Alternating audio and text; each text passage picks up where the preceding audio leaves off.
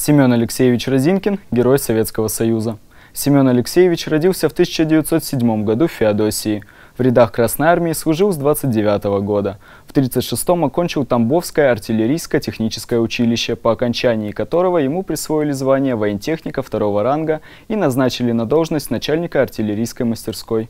Войну Семен Алексеевич встретил на приграничном рубеже в составе 5-й армии Юго-Западного фронта. В 42 и 43 годах он воевал в Михайловском отряде 1-й Курской партизанской бригады. Затем сражался в составе 843-го стрелкового полка 238-й стрелковой дивизии на Брянском фронте, а также первом и втором белорусских фронтах.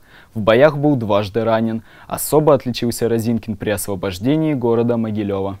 25 июня 1944 года его рота первой форсировала реку Бася, ворвалась в деревню Каменка Чауского района и захватила четыре вражеских орудия. На следующий день рота прошла реку Реста, там же выбила врага из траншей и, продолжая наступать, выдвинулась к реке Днепр. 27 июня Розинкин переправил через Днепр роту, которая затем в боях за Могилев пленила свыше 100 врагов, уничтожила более 50 солдат и офицеров противника и захватила 6 орудий.